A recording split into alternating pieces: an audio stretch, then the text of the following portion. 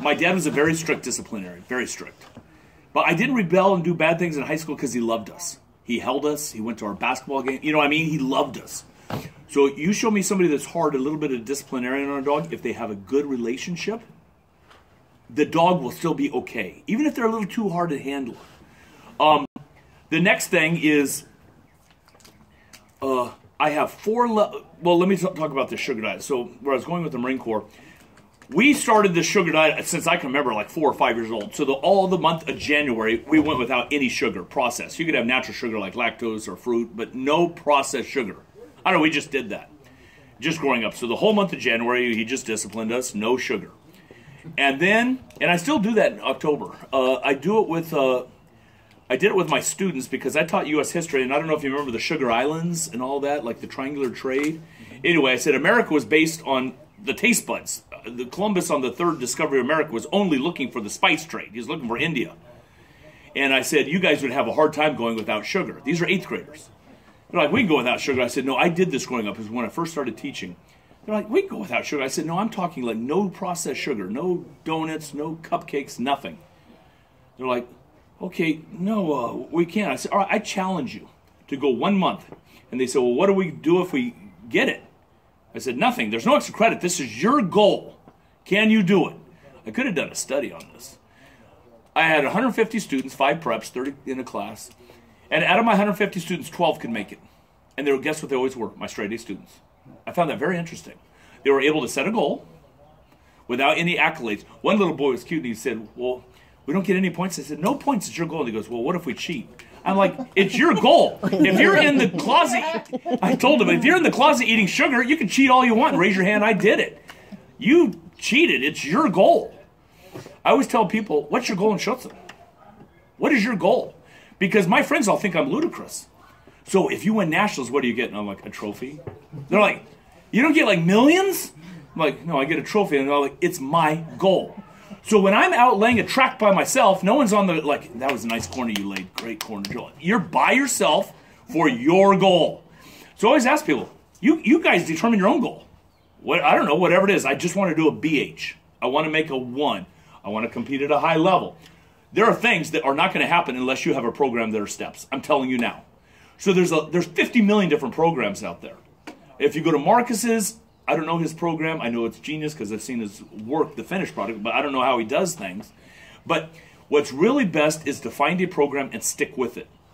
So let's say you go to Ivan and he wants a motivational out, which means he waits, the helper locks up, he says aus, and he waits for the dog to get tired and offer the behavior of out. When the dog finally outs, he gives it a bite as a reward. That's a motivational out. You can picture that. You go to Delasegas, he's going to teach a compulsion out. Aus, and he pulled the dog into him. The dog lets go and he gives him a bite. Both programs are 100% perfect. A compulsion out is 100% perfect. A motivational is out. You cannot mix these two. You can't go Monday for a motivational out, Friday for a compulsion out. You either way is perfect. But you can't mix programs if they conflict with each other.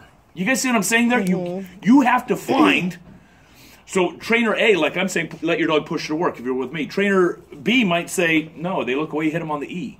These two programs will collide. It will not work. So I'm talking about now the negative. So remember I talked about Garrow when I gave him a plots command when his daughter Demi, uh, the 11 month old, uh, I said nope. So now I'm talking about now I'm going to correct because there comes a time where the rubber meets the road. You are going to fools. You are not allowed to look away and sniff. I have four levels of corrections. All right, level one, no, and I use the leash correction. That's what I talked about with the young dog when they're sniffing the pole, like Slayer, pop. My level two correction, so now he's getting really good at coming every time. My level two correction is no with a leash combined with an e collar correction. So I do the abstract and the concrete. Slayer, no. Tick. I use this simultaneously as this. That way the abstract starts to represent this. Does it make sense? Like, mm-hmm. no. Tick. Level three, no. And then an e-collar correction. There is no leash anymore. For this exercise, just for name. And I do this with each exercise, whether it's foos, plots, whatever. I go through all these steps with each thing that I'm teaching. The next and the highest one is a silent correction.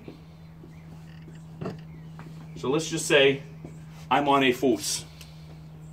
And my dog has this perfect foos and he looks away. And I'm on step number four. I no longer say no. I just go tick, tick, tick, tick. Good boy. I praise after the correction. That's called a silent correction. I want to always get to this exercise because in a trial, I don't have the luxury of saying what? No. Yeah. And I stop repeating myself. These are the four levels. Now, here's how I teach the e collar. This is a very controversial tool. And let me tell you why. A lot of people are misunderstand it. I teach e collar classes all the time.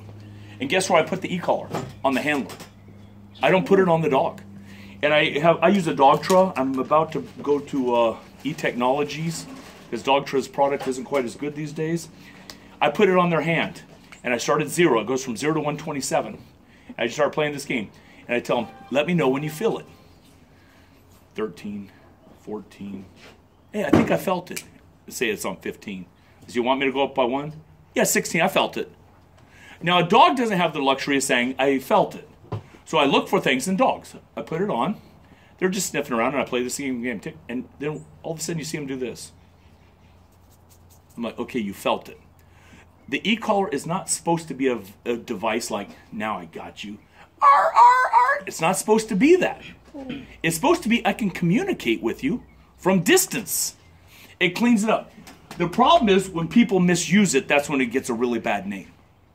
Um, just like this. You can say somebody uh, say I don't like. The, they're trying to regulate the human heart in America, and this is what's the hard thing. I can say I never corrected my dog, but with a puppy with a spoon and a pan, and just scare it when it does something wrong. I might be doing more damage to that dog psychologically than a good old leash correction. Does that make sense? How about Jim Morrison from the Doors? You guys remember that Jim Morrison?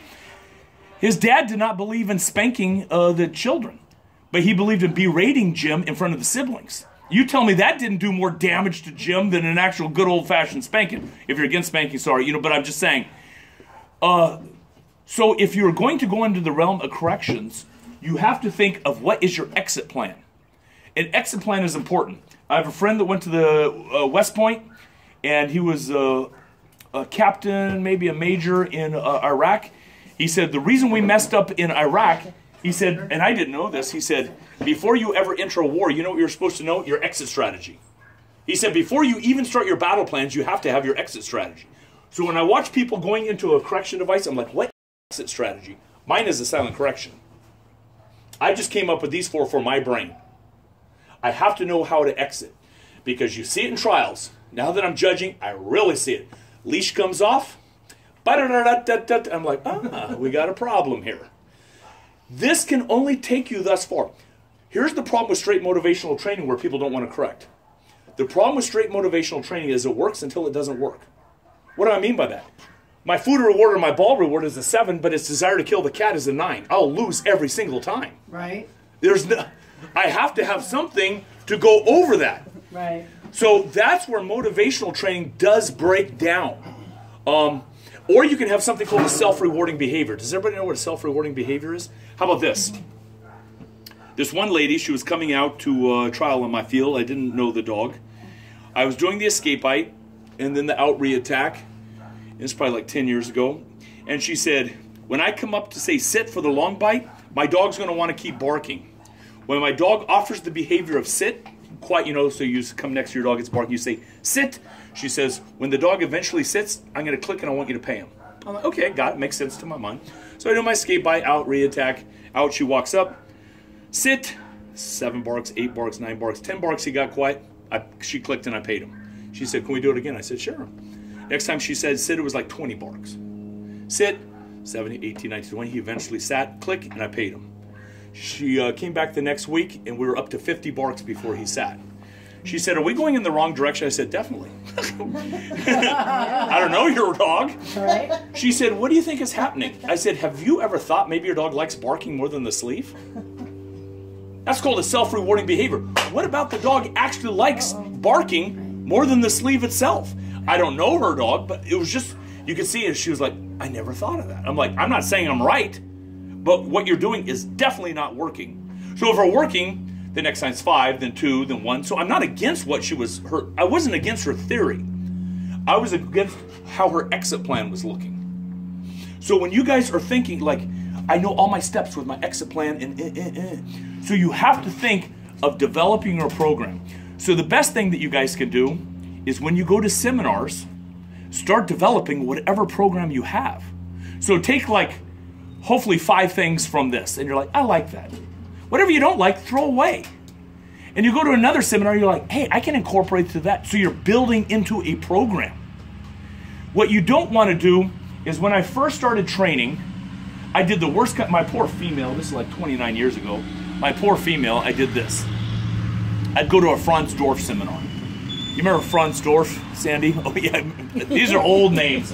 Uh, Reiser, Oh. and Fritz. When Tom, when the Vollraths had them all over. Yeah. So I went to Franz Dorf. I'm like, that's how you do it. So I changed my whole program to match Franz's. Then I went to another seminar six months later. I'm like, that's even better. That's how you do it. And I changed programs. That was really- Then I went. It was very common back in the late '80s, early '90s. And I went to another seminar. That and my poor female, you could just see her like, choose a freaking way. You could just see her expression like, you're changing it again. It was the worst thing I could have done, rather than like, I'm adding something to what I already do. So if you like, unless you don't have a program, but if you already have kind of a program and you like scrap it all and do exactly what I'm doing, saying, it's probably a failure of a seminar. You don't want to do everything. It might not fit your personality. You know, I don't know. If you don't have a program, this is a good place to start. It's a good place to start. And I know it works. I mean, it works for us uh, real well. But I think this is really good to think about. What is your goal? What is my exit plan if my motivation doesn't work?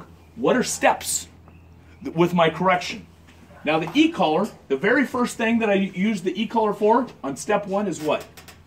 Name. What's the second thing that I use it for? Don't look away on a foos. This is the most important command in all of Schutzhund. This is, you show me a dog with a good foos, I can get your dog to do almost anything. If I have a dog with an exceptional foos going around the one meter, that's, that won't be a problem. The dog has learned how to learn, and foos is the hardest of all. Why? Why is it the hardest? It's the most unnatural exercise in all of canine world. You'll see dogs laying down, sitting, jumping logs, um, picking up things. You know what you'll never see a dog doing? A foos. What's the greatest movie of all time? Gladiator. I, I love that movie. Anyway, do you remember if you watch Gladiator again, that first battle scene? Did you see that sable shepherd? Do you guys remember the shepherd, uh, Russell Crowe? No, Ah, you ever seen Gladiator? I know. I'm like, Leave the seminar, please. but no, this obviously it's not Russell Crowe, but this dog is on foosing on a well, the guy's on a horseback, and that dog has. I am like, okay. The first time I saw the movie, I was like, that dog is on a foos. And then it had the bite work within the battle. I'm like, of course, it's a freaking Schutzhund dog. It's so easy to teach this dog, and you can see the dog's intellect rather than looking around. And it all started with a foos in the greatest movie of all time. The second thing is I teach my dog to hold its down. On. Now this one's tricky. So this one I want you to really get put your thinking caps on. The first one, come when you're cold. Second one, come tighter into me. Don't. Now I'm switching everything on the heels. Because if I say plots and Sandy calls my dog and my dog gets up and I say no tick and I hit him on the E, he might think he has to come to me. Because he's only known the E collar for what? Coming closer to me, forcing deeper into me. So now I have my dog on a plots, like where that speaker is, and I only use it for the infraction of the breaking of the plots. So Sandy, can you call my dog? She calls him, and he starts to break towards her, and I go, no, tick. I only use one tick for getting up, then I use body pressure. Can you guys picture body pressure? I come at him, so I'll have to have a little more room. How about this? You're never going to see, let's say that dumbbell is where my dog is. You're never going to see me do this. Good boy. that will blow my dog head. Like, that was a mixed message. So, so what do I do? He comes towards me. I mean, Sandy. No, tick, plots. Now I take pressure off once he gives in good plots. It's only one tick for the infraction of breaking the plots, and the rest is body pressure. Now, On my long down for my BH and my one, I can see my dog out of my peripheral vision. If my dog starts to sniff, and I say I'm at a silent correction, step four on the long down, so my dog's good at it, starts to sniff because it's bored or whatever, or bench in season, I'll do this. I'll switch my feet. Tick, tick. Takes a hip and rolls. Tick, tick. If I'm on step three, it'll be this. Starts to sniff. No, tick, tick. And my feet move as I'm ticking. So on the beach and the one and the two, where do dogs break? On recalls and dumbbells. So when somebody calls their dog in the trial, guess what I do? Because my back's to the dog. And now my dog's like, why did you move? that really gets the focus. Can you guys picture that? Yeah. Mm-hmm. And right when the dumbbell, and I hear the handler say bring, my feet switch. Because I can't see my dog, it's behind me. But I want them, that's why if I don't have focus, I can't communicate to my dog.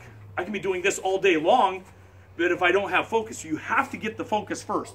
You can't put the cart before the horse and do these exercises if you don't have focus. However, you're going to get it. Whatever program you decide, you have to have the dog paying attention to. I can communicate on a lot of things. If you watch me at any championship, if you go to Working Dog EU and you see the championships I've been in, if ever you see me stop like this in training, tick tick, a fast stop is always pressure. Tick tick. This kind of stop is always good. That's always a good thing. So let's say I have, uh, I was in Ohio, it was a cool day. My female Arna, she was like very, very intense. And before the group, I stopped like this. You saw her ears go back a little. I corrected her in the middle of a trial. It was a mental correction, but I corrected her. I can correct my dog in a trial, even though it's a mental correction. But I had to correct her every time in training, doing a silent halt very quickly. And I won't have time to get into it, but I also use that on the back transport. So I guess what I'm saying is you have to have focus, and if you have focus in the trial, then you communicate. Before we get karma, the last thing is, do you guys know the sport of water polo? Mm-hmm. Everybody knows water polo. I played water polo in high school, and I, got, I was getting ready in shape for basketball. That's the reason I played. and if you don't know the sport of water polo, the pool's so deep you can't touch the bottom. You can't touch the bottom of the pool. Our warm up, my freshman year, I knew how to swim. I wasn't like a skilled swimmer. I, I knew how to swim. Our warm up was 40 laps. That was our warm up. When it came time for the actual uh, sc- scrimmage, our first day, like how it works, I'm in the deep end. I could care less about the game. I just didn't want to what drown. You know, I'm like just don't die, Joel. And so I didn't care where the flankers were, the whole set, where the goalie was. I just don't drown. Once I became more skilled at swimming, then I could start what you call seeing the court. That's the flankers. That's how the whole set works. This is how the game works. If I'm worried about my dog leaving me on foos on the BH, I'm at the swimming stage. This is where we all start. You want to get past the swimming stage into where you can see the court. So let's say Sandy's part of the group, and I'm on my foos, and I know my dog's not going to look away from me. I can say to myself, I noticed the last two dogs in the trial sniffed. Maybe she forgot she had food on her. So I don't go around Sandy. Now I'm saying the court. Versus, please don't leave me. Please say you love me. Please, you know, in the trial. You got to get to the point in your training where you get past swimming and the dog, you say, I know it's going to be with me, it's going to foos. Now there's degrees, maybe you drop the head a little bit, but not where they're leaving you. All right, and that's not only going to come from motivation, you guys, because I'm going to say, I love motivation. I always start with motivation, a lot of motivation. But there comes a time you must do it. Because my kids love this kind of obedience. Go eat your ice cream. My children love that kind of obedience. Go eat your vegetables or clean your room, that's a whole different beast of obedience. So as long as everything's fun, foos, and here's your food, look, hey, uh, but what comes, the time when it's hot? I don't feel like it. There's been a bitching season. Okay, whatever. Now you have to foos. Now it's not, well, what's in it? But you can't go to the compulsion. you can't, you got to stay on the dating page, I guess is what I'm saying. You can't go here until you have this relationship. And then after 28 years, my wife can crank me pretty hard, and it's, it's not weird. All right, Jane. So can you guys separate these and the jumper coat. Sandy, does that make sense? Yes. Okay. Yeah, I'm picturing it in my head. Yeah. Just like